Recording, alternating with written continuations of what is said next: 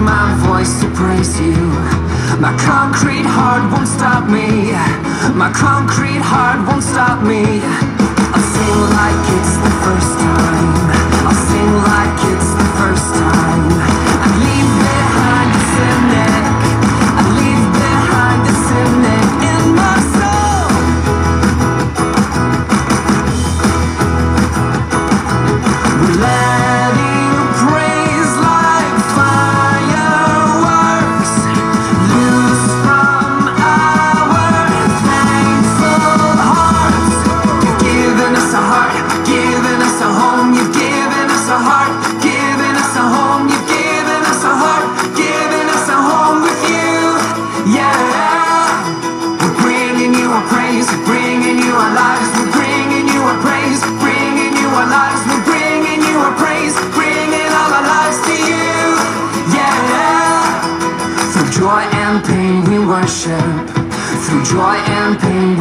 With heart and soul wide open, with heart and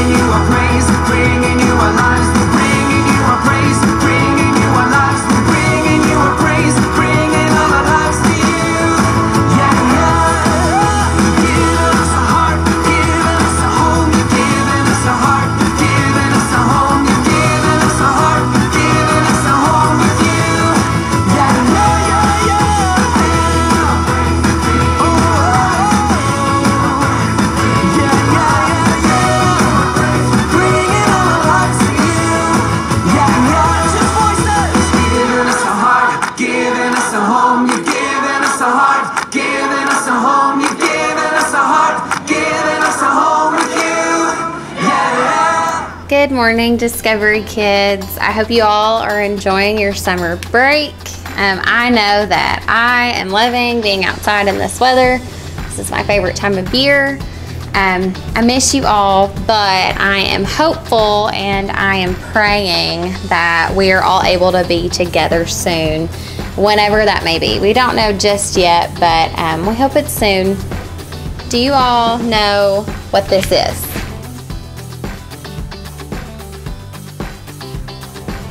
How about now?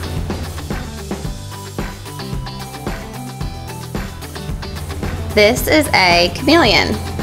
And if you look up the definition, um, a chameleon is a lizard that has the ability to change colors.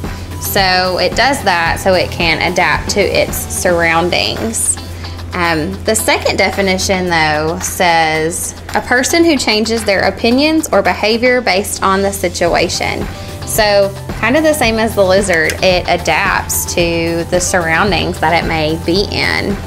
Um, an example of that for you and me, um, maybe you have a few different groups of friends and not all together, they're separate, and um, whichever group of friends you're with, uh, depends on how you act or the things you say, the clothes you may wear. Um, who you are changes whenever you're around certain people. So I think some of us can probably say that we've done that a time or two. Um, I know I can, especially when I was in middle school and high school. I had several different groups of friends, and I'm really glad I did because I learned a lot about myself by having those friends and figured out what some of my favorite things are. Um, but because they were all so different, I acted differently depending on who I was around. Um, I was a chameleon, just blending into what was around me. I was figuring out who I was at that time. I didn't know me fully just yet. I was learning. So, who am I and what does that mean? When the new church started, they were on their own. with the help of their friend that we've been talking about, the Holy Spirit. Um, they, like us, struggled to understand who they were, um, what they were going to be, and how they were going to live. So, will you all please read along with me in the book of Acts, chapter 2, verses 42 through 47, the fellowship of the believers. They devoted themselves to the apostles' teaching and to fellowship, to the breaking of bread and to prayer. Everyone was filled with awe at the many wonders and signs performed by the apostles. All the believers were together and had everything in common. They sold property and possessions to give to anyone who had need. Every day they continued to meet together in the temple's court. They broke bread in their homes and ate together with glad and sincere hearts, praising God and enjoying the favor of all the people. And the Lord added to their number daily those who were being saved. So, this is after Pentecost and um, where the Holy Spirit was sent to help them, um, to be with them as they were being sent out into the world. And Peter spoke to those around him about how the whole world would eventually come back to God um, through the Holy Spirit. When the people heard this message, they wanted to know what to do. And Peter said, Repent, be baptized, and receive the gift of the Holy Spirit. Those who accepted that message were baptized, and about 3,000 believers were added that day. So the problem here is that the new church it's starting and they're having to figure out all the little details of what that means and part of that is who they are and how they're going to live when it would be so easy to be like a chameleon um, they have the Holy Spirit to be their comforter and their friend to help them. Uh, God's grace is so present here. Um, God is helping them live into their identity of who they are, um, who they're called to be. Jesus was their example for how they should live through how he lived and loved others. The church was faithful and God was faithful to them. And this is still true for us in this time. We are trying to figure out who the church is and how we are going to live. We are trying to find our identity. We as a church don't decide how we should live. There aren't a list of rules that someone in an office sat down and just decided this is how we're going to operate. Um, we have the Bible and the Gospels and the Holy Spirit to help us.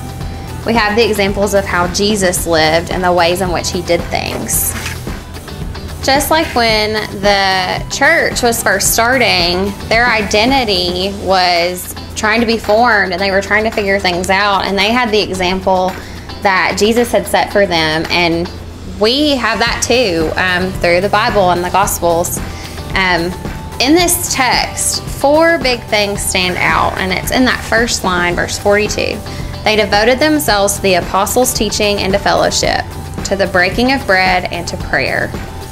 So, learning from others, fellowship, being with each other, eating together, praying together. Um, an example of how we do this would be our homecoming weekend celebration. So, we all get together and we're learning, and we are in fellowship with each other, we're together and we eat and we pray. And again, we're doing all of this together. So that's a great example um, for what this means. Um, in this text, it also talks about how they sold property and possessions to give to anyone who had a need. Um, in this time, owning property was huge. Um, it was what made people who they were. That's where their identity lied in um, before their identity shifted over once they became believers. Um, owning land then made you someone. Um, and when Jesus came into the picture, that changed. Um, their identity went from the things that they owned um, to the way that they lived and the example they set um, in the image of God. All that had defined them before, all that made them who they were, they just gave it away to those that needed it. Um, this text also talks about the Lord adding to the number daily those who were being saved. Um, when numbers of followers and the number of people in and of the church is always interesting to know. Um, we're curious, and um, other we want others to join us um, to worship and live the lives that we know Jesus wants for us. But the numbers are not what matters. Um, the ways that we live, the learning from others, the fellowship we share in, the eating together, the praying together, that's what matters.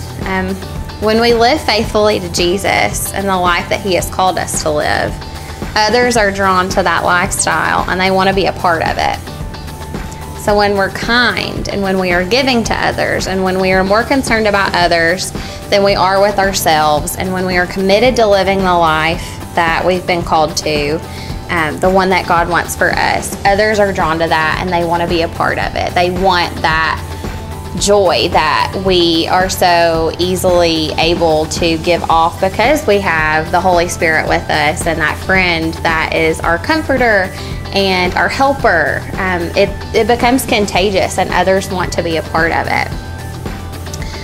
So when we claim that we have these things and we act completely different, others may not want to be a part of it. Kind of like when someone is smelly, like my youngest brother when he goes to football practice and he claims that he doesn't need to take a shower. uh, when he comes back and no one wants to sit beside him. No one even really wants to be in the same room as him because he smells so bad. Our actions can cause people to react in the same way and not want to be around us and not want to do the things that we're doing because it's kind of smelly in the same sense. Um, we want others to be drawn to us, not to move away because we smell bad. Um, same for the lives we live and who we are through Jesus. Um, when we devote ourselves to those teachings and the fellowship and the breaking of bread and prayer, and we are living the way God has called us to, others are drawn in. And we aren't doing this alone. Um, God's grace is so present. Um, God helps us to be who we are called to be um, because we aren't doing this, any of this alone. Um, our friend, who we've been talking about, the Holy Spirit, is with us always to help us do those things that may seem a little challenging at times. Would you all please join me in prayer? Dear Jesus, we love you and we are so thankful for this day and for this time that we are able to come together and worship you. Lord, we know that things are uncertain around us, um, but we also know that you are certain. We know that your Spirit is with us, helping us and comforting us to be able to do the things that you have called us to do. Help us to follow the example that you set and gave for our lives to live and to love and to look like you so that others around us would want to do the same. Uh, Lord, be with my friends who are watching as our routines start to change little by little. We pray that we are able to be together again soon, all in your timing. Um, we love you and we thank you, and we pray all of this in your name. Amen. Thanks, guys, for joining me today. Uh, I hope I'm able to see you soon, and I hope you all have a wonderful week.